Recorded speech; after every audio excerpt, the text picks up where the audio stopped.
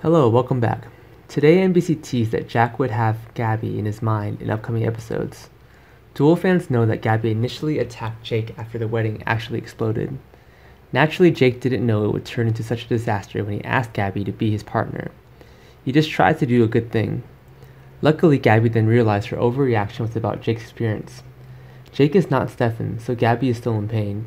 On the bright side, Gabi stuck with Jake when she told him about his family.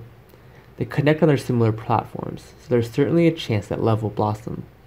However, NBC said Jake would return to bed with Gwen in the week from 27 to 31 July. Although Jake cares about Gabi, it won't be enough to stop him from drifting toward the familiar Gwen. There is no doubt that Jake is quite attracted to Gwen and the spark they have together. Of course, it wouldn't be a DOOL if things didn't get complicated, or in this case, more complicated.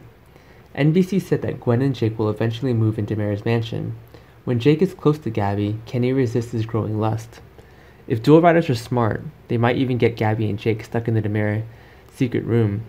That's where Stefan and Gabi's feelings well up.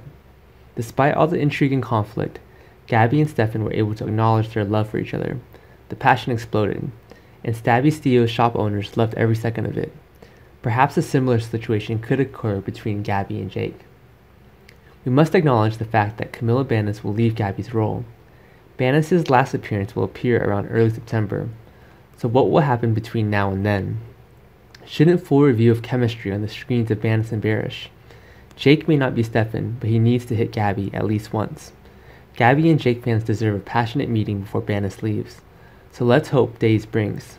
NBC said that some shockers are in store in the future for Gabi, so please stay tuned. Thanks for watching our videos, goodbye, and see you again.